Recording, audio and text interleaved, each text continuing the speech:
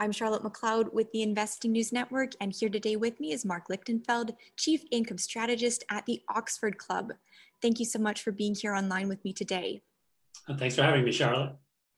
Of course. Now, because it's our first time speaking, I wondered if you could give me a brief overview of who you are and what you do at the Oxford Club.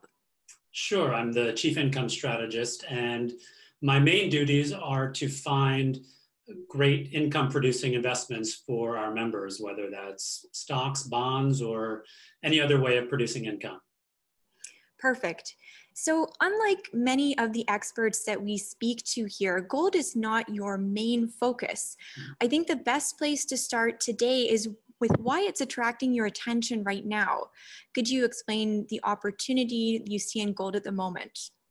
Sure. So it's it's attracting my attention now because it's attracting everybody's attention, uh, meaning that it, it's it's what is important to a lot of investors right now. They're they're reading about it, they're learning about it, especially those who haven't uh, participated in investing in gold before. So uh, that's that's what caught my attention. From an investment opportunity, I think what is important is that you know we have the the printing presses around the globe uh, just churning out dollars and yen and euros.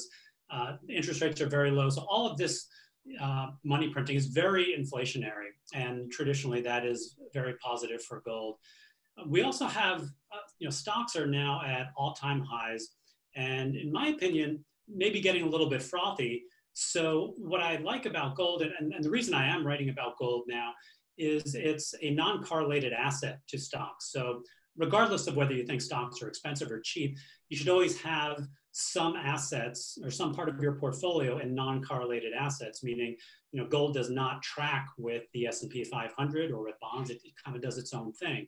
So that way, when some investments are going down, uh, you have other investments that are not necessarily tied to those stocks that are or those other investments that are going lower. Okay, makes sense.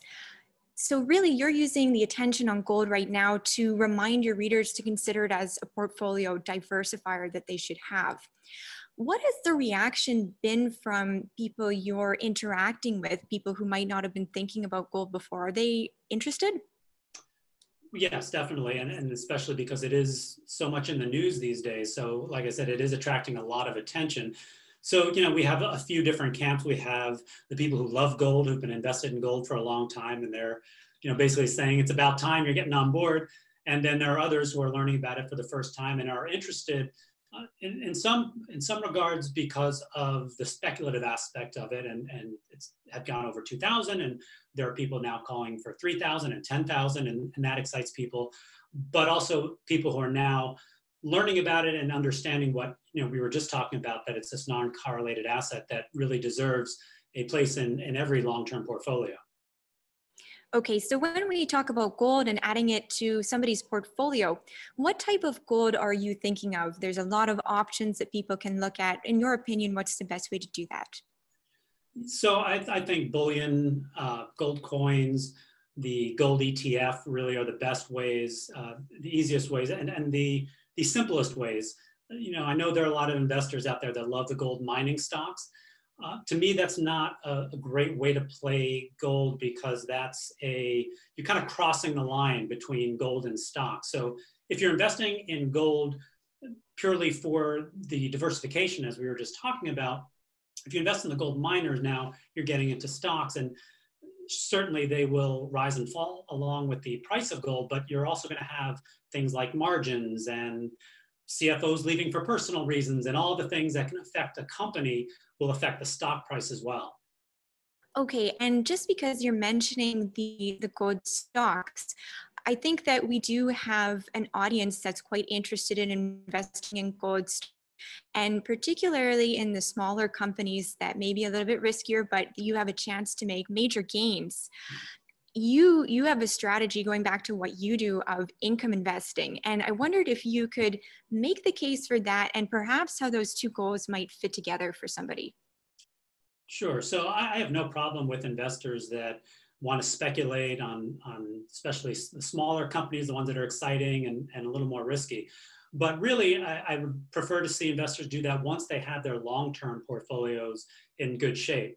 And so to do that, I, I believe that a, a, large position in dividend stocks and particularly companies that I call perpetual dividend raisers. These are companies that raise the dividend every single year.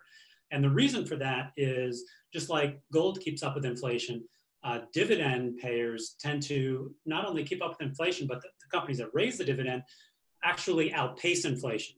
So if we can get inflation, let's say back to three and a half percent, which is the historical average in the United States over the last hundred or so years, if you're investing in a company that raises the dividend 6% or 8% a year, even after taxes, you've increased your buying power after inflation. And I think that's really, really important for anyone who is approaching retirement or is retired. And then, especially if you're reinvesting the dividend, if you're still in your wealth building phase of your investing life, then those raised dividends every single year really accelerate the compounding machine. So it's something I, I believe very, very strongly in. And it's a strategy that has worked for decades and decades as far as uh, beating S&P 500, creating wealth, and doing it in a little bit more conservative way. Could you give an example of one of those stocks you're mentioning, one of those ones that raises its dividend consistently? Sure. So if you look at a company like AbbVie, they're a large pharmaceutical company. Uh, they're growing their earnings, growing cash flow, and they've raised their dividend every year for a number of years. Another company, not quite as exciting and, and not quite as much in the growth mode, but still growing the dividend every year is AT&T. And that's a company with a 7% yield, and they've been raising their dividend for 36 years. And what I like about companies with these long track records of raising the dividend is they've really set expectations very high for their shareholders. So suddenly, if a, if a, company that's raised their dividend for 30, 40, 50 years doesn't raise the dividend one year, they're going to have a lot of explaining to do to their shareholders. And, and that really signals a very dramatic shift in the company's fundamentals. So, you know, that company that's raising the dividend every year is sending a message to Wall Street that they expect their earnings and cash flow to continue to grow uh, over the short and long term. Okay, now every investor, of course, is different, but I wondered if you could give me an idea of what an ideal portfolio would look like to you, not in terms of individual stocks, but in terms of the overall breakdown of assets. And maybe because you work with retired people, you could give a, a look at what that would look like when you're retired versus when you're before that point. Sure. Well, you know, as you said, every investor is different. So I never like to give a, a broad uh, portfolio allocation. When it comes to gold, though, the Oxford Club does believe 5% of your long-term portfolio should be in gold or precious metals. But as far as the, the stock and, and bond mix, that really depends on, on your tolerance for risk, what your short-term needs are for cash.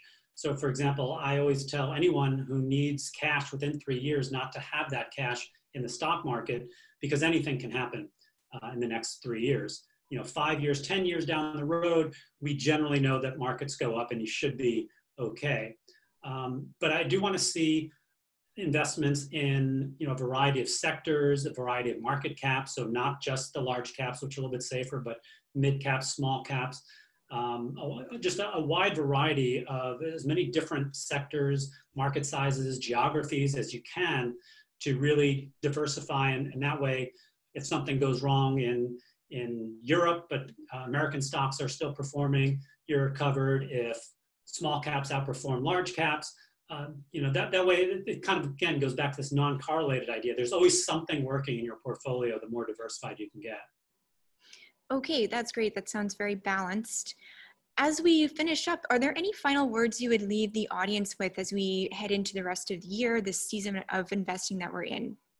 Sure. Well, going back to gold, you know, one thing I would mention to people, especially since so many people are interested in speculating on gold, is just be careful that if you are speculating on gold, if, if you're getting into a short-term trade, know why you're getting into that trade. And if the trade doesn't work out, you know, there's an old saying, don't ever, don't ever let a trade become an investment. Uh, so you don't want to, if you think gold is, is going higher short term and, and you plan on getting out if, if it drops five or 10%, uh, and when it does drop 10%, don't say, well, I'm, I'm going to wait for it to bounce back. You know, have your, have your strategy, your entry and exit strategies thought out well in advance. Use stops if you can. And that way you're, you're not going to end up holding something that goes the wrong way for a long time. But vice versa, if you're planning on diversifying and investing in gold for the long term, Similarly, if it goes against you, don't just kind of rip up those plans and say, well, it went against me, I'm getting out. If, if you're a long-term investor, then plan to hold on for the long term uh, in order to diversify your portfolio and don't, don't get shaken out of the market by a, a short-term bump in the road. Okay, well, thank you so much. I think that was some great words of advice. It was great to have you on. Oh, thanks again for having me. Appreciate it. Of course. And once again, I'm Charlotte McLeod with the Investing News Network, and this is Marc Lichtenfeld with the Oxford Club.